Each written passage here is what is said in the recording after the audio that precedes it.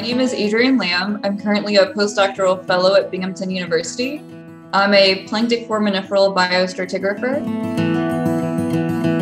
So what I do is use fossilized remains of organisms from long ago and when they evolved and when they went extinct to then tell how old these sediments are that we drill while we're aboard the ship.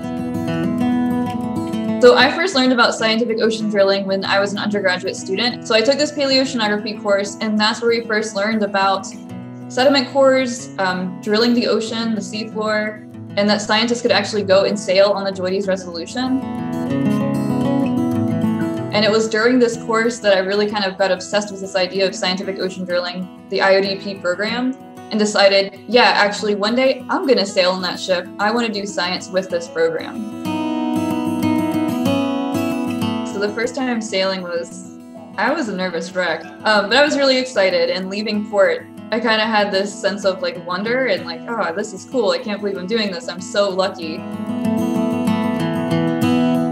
Being with such a neat team of scientists and a mix of people from all over the world, all different career stages, people who are really, you know, well published, well known, folks who are just starting out in my shoes, you know, still PhD students. And that was neat. It just felt like a very even from the beginning, it was just a very comfortable environment where I knew I was going to learn and grow.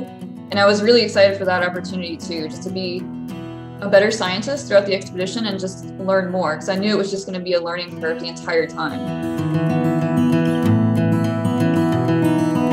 There's a lot of things that excite me about my job. Just finding a fossil and knowing like I'm the first one to hold this fossil and this was from, you know, the Paleozoic. We're talking 450 to 300 million years ago. When I'm sailing on the ship, it's knowing that you know when we get that core catcher that comes up and i'm the first one there as a biostratigrapher that gets that sample i'm the first one to look at those fossils.